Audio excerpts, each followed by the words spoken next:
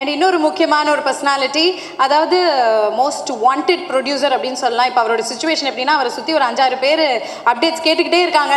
அந்த ஒரு சுச்சுவேஷனில் தான் இருக்கார். அதனால தான் மோஸ்ட் வாண்டட் அப்படின்னு நான் சொல்கிறேன் so seven screen studios mister Lalith Kumar sir welcome on அனைவருக்கும் வணக்கம்.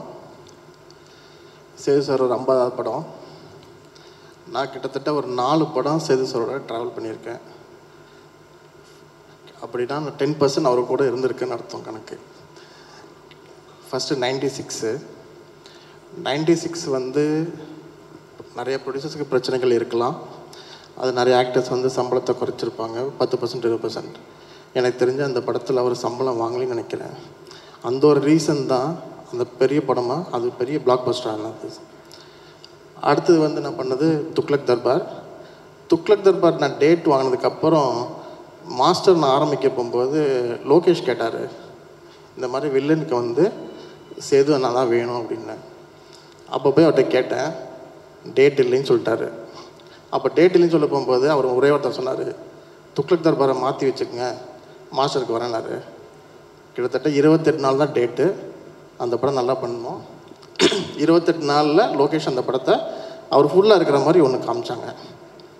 அதுக்கப்புறம் துக்ளக்கு அதுக்கப்புறம் காத்து வாக்கில் ரெண்டு காதல். அதில் மூணு பேர் Vijay sir Sethu sir Nayan madam Samantha madam மூணு வச்சு ஹேண்டில் பண்ணுறது சாதாரண விஷயம் இல்லை. விக்கி அதை ப்ராப்பராக பண்ணி கொடுத்து பண்ணார். வேணால் நான் பண்ண நாலு படமும் ஆஸ் அ ப்ரொடியூசராக சம்பாரித்த படம். நான் ப்ராஃபிட் சம்பாதிச்சேன்னு கண்டிப்பாக சொல்லுவேன். இன்னொன்று ஃபிலோ ந- நிறைய பேர்த்துக்கு வந்து ஆக்டர் ஃபேன்னு சொல்லுவாங்க. நான் வந்து ஒரு எடிட்டரோட ஃபேன் நான் சொல்லுவேன் அடிக்கடி. ஃபிலோக்கு தெரியும் நல்லா. ஏன்னா இப்போ ரீசெண்டாக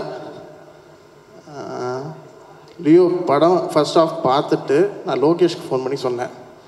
லோகேஷ் சூப்பராக இருக்குது ஃபிலோ சூப்பராக பண்ணிட்டாருன்னு நான் சொன்னேன். அதுக்கு லோகேஷ் சொன்னார் சார் நான் தான் சார் டைரக்ட் பண்ணேன். நீங்கள் ஃபிலோவை சொல்கிறீங்க அப்படின்னாரு. ஃபிலோ அதான் சொன்னேன் ஃபிலோ உங்களை பற்றி பேசினா டேரக்டர் திட்டுறாரு அப்படின்னு சொல்லி சொன்னேன். இன்னொரு விஷயம் சுதன். அது சுதனை வந்து மொட்டை மொட்டைன்னு கூப்பிட்டு பழகிருச்சு. அதனால் சுதன் சரி ஜாக்கும் சரி இந்த படத்தில் இருக்கிறனால இது படங்கிற மாதிரி ஒரு ஃபீல் எனக்கே கிடச்சிருச்சு. அதனால் all the best Sudhan. All the best பண்ணலாம் வரணும் thank you sir thanks for joining us ரொம்ப நன்றி.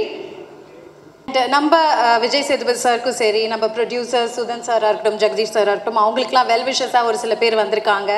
அண்ட் uh, இப்போ முக்கியமான ஒருத்தரை நான் கூப்பிட போகிறேன் அதாவது ஹீரோ மாதிரி இருக்கிற ஒரு ப்ரொடியூசர் கண்டென்ட் ஃபிலிம் ஓரியன்டாக தான் நிறைய ஃபிலிம்ஸ் எடுத்துகிட்டு இருக்காங்க. Dream warrior producer SR Prabhu sir ஹீரோன்னு சொன்னேன் அவரே ரெடி ஆகிட்டார் எல்லாருக்கும் வணக்கம்.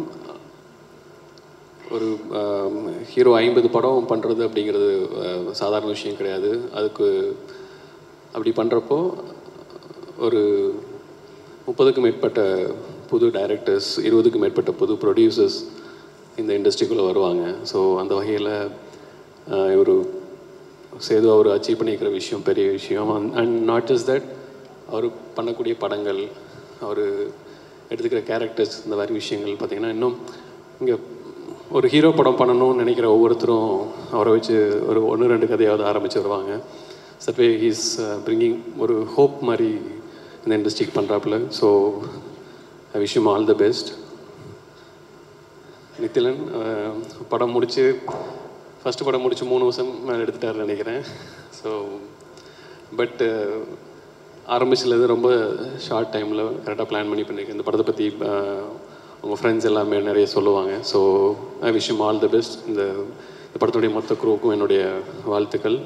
சுதன் uh, ஒரு ஃப்ரெண்டு பேசுகிறப்போ ஆறு படம்னு சொல்லிட்டாரு. ஒரு இருபத்தஞ்சி படம் பண்ணுறாருன்னு நான் நினச்சிட்ருக்கேன். ஸோ uh, இன்னும் நிறைய படங்கள் நிறைய சக்ஸஸ் கொடுத்து I wish him all the best to all of the team members and everybody. Thanks.